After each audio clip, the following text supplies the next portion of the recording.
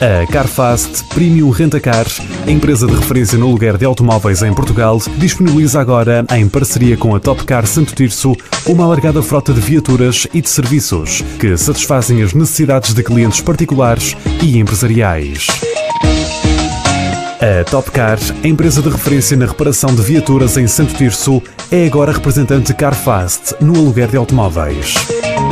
Faça o aluguer de uma viatura Carfast de forma simples e fácil.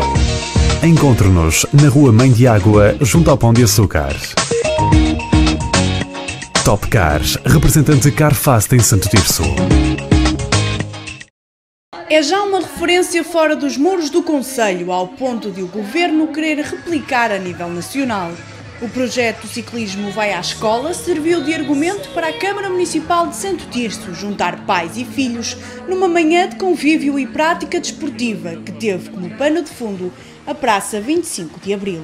Nem o calor afastou a pequena multidão de ciclistas que, além de passear pela cidade, teve a oportunidade de experimentar circuitos e ver por dentro os autocarros das equipas profissionais de ciclismo do Futebol Clube do Porto e do Boa Vista. Este projeto tem tido muito sucesso.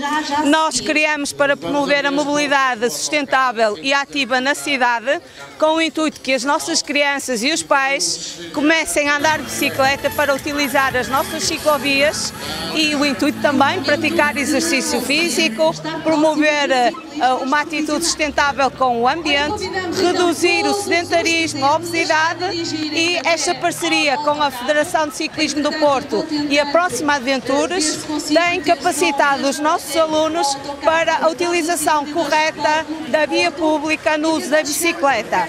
O projeto Ciclismo Vai à Escola iniciou no ano letivo 2018-2019 e há já garantias de que vai continuar. Pretendemos dar continuidade ao segundo e terceiro ciclo e vamos ter uma nova ação em que vamos precisar e promover um percurso com técnicos do desporto para que os alunos possam ir para a escola acompanhados e em segurança. Amanhã incluiu ainda uma demonstração de trail bike com as manobras acrobáticas de dois especialistas da modalidade.